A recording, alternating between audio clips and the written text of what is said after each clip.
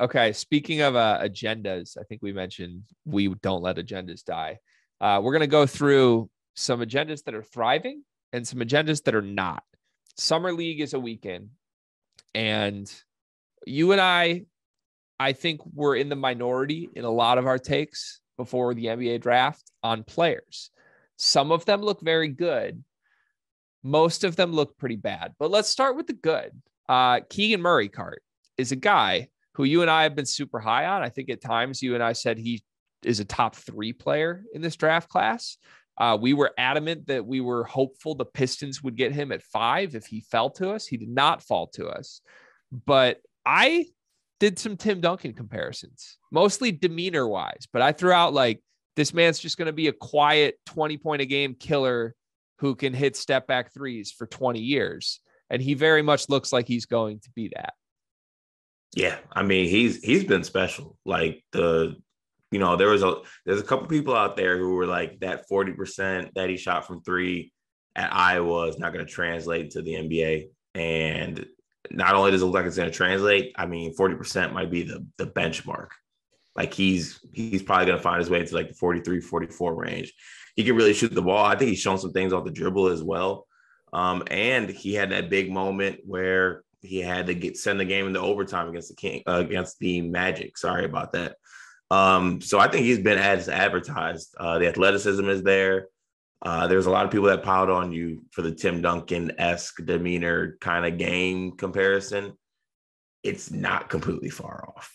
It's really not like it's I, not like you can you can put a star on that one. I think if you watch him the way he mentally and emotionally operates is Tim Duncan. It's just like if yes. Tim Duncan was raised in the three point era, like I think he's what Keegan Murray would look like. We'll see if he actually becomes that good. But uh, yeah, he he's already showing the clutch gene. I'm excited for the Kings. Weirdly, like I know people want to like make uh, jokes. No, you're no, no, you're not, Greg. No, hear me out. Like people want to make jokes about like, oh, they passed up Jaden Ivey, but like that was a great pick for Sacramento. Jaden Ivey makes no sense with De'Aaron Fox and Davion Mitchell. And uh, like, say what you want about Fox and Mitchell. Fox is good. Mitchell could be good. And Keegan Murray is the perfect player at the perfect position of need for them in that front court. Like Sabonis, Mitchell, Fox, Murray is a squad. Like and I'm very Harrison. Is, is Harrison Barnes or three? Harrison Barnes is there, yeah. And I they just got Malik Monk. Fox and Monk are back together. Big fan of when college stars that are friends get to play together in the league. Oh, are are, are the Kings working their way into like sleepers top five NBA teams we need to watch? I'm a Kings fan officially. I was going to be a Keegan Murray fan wherever he goes. That's one of my sons. But uh, yeah, I'm, I'm officially a Kings fan. We also had, I think, some negative agendas that we're correct on so far, Cart we've been adamant that Max Christie stinks, and that looks true. You want to talk about that? I mean, like he, he's been one of the worst players in summer league. Like I don't think that's a stretch to say so. Um, same thing that he was doing at the Breslin Center is carrying over to the UNLV Thomas and Mack Center. I mean, he's been able to get shots off, but it, it, they're not going in. They look fine, I guess. Like I feel like we could do the same loop with Max Christie as far as oh, there he goes shooting again. Oh, form looks good. Uh, miss. Like, you know, I don't know. Not surprised by it. Seems like maybe he could have benefited from coming back. I don't know. I don't know. Maybe a coach uh, that he played for last year tried to tell him that, and he didn't like the way it sounded, and mommy and daddy didn't like the way it sounded. So you know, he's he's on the Lakers. He's a draft pick. He gets to play in the NBA. He's not playing well in the NBA.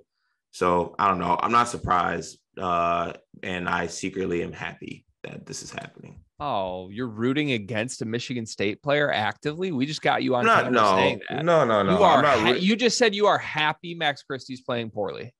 I'm not rooting against them. Like you if he just does said you're happy that he's playing poorly sometimes someone's got to give him tough love.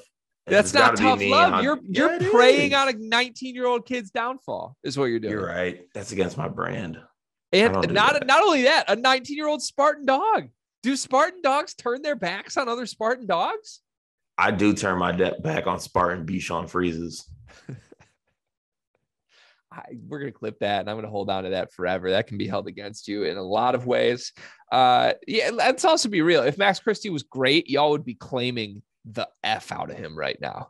Like if he came out and Oh, averaged no, 22 whoa, a game, whoa, whoa, whoa, whoa, whoa, whoa. Y'all, no, the hell I would not. yes, you would. No, I wouldn't. 100 percent. Talking about oh Izzo Izzo development. Uh like No, uh, Izzo I'm did so happy for Max. Now he's finally showing the the flashes we saw in college. Like, but instead he's bad. We knew he'd be bad, but you're happy he's bad. Like, really? No, you're not. Nobody's happy he's bad.